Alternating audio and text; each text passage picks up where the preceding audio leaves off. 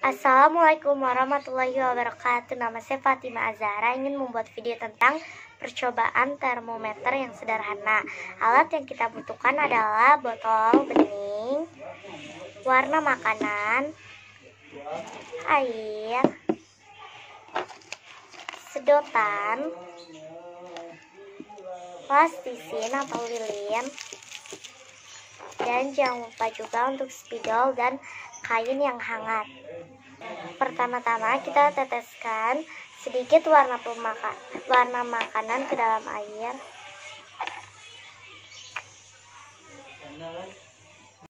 Lalu tuangkan sedikit air yang sudah diberi warna makanan ke dalam botol.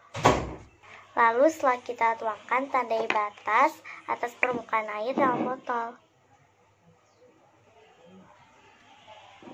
Jika sudah ditandai batasnya seperti ini, kita akan memasukkan sedotan hingga menyampai permukaan air dalam botol. Setelah itu, tutup rapat sekeliling uh, lubang botol dalam plastisin ya.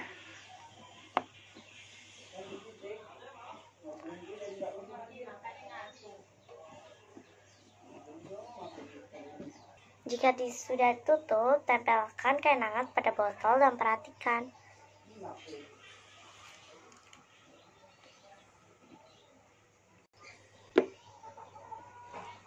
Lalu jangan lupa untuk menandainya dengan spidol.